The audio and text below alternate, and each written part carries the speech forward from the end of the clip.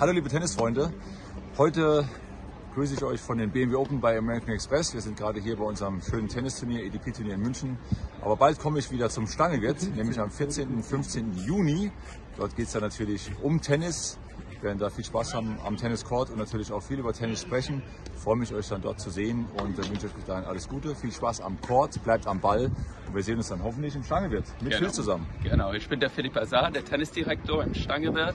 Wir würden uns riesig freuen, euch willkommen zu dürfen. Es wird ein kleines, intimes Camp mit maximal acht Leute. Es wird ganz toll sein, weil wir haben ja einen die schönsten Tennisanlagen in der Welt mit die schönen Außenplätze von Stangewirt, ein wunderschönen Luxushotel im Hintergrund, ein schönen Abendessen mit Patrick und unglaubliches Training mit unser- unserem erfahrenen Team und so weiter und so weiter. So, wir würden uns riesig freuen, euch dabei zu haben. Bis dann, alles Gute. Alles Gute. Danke.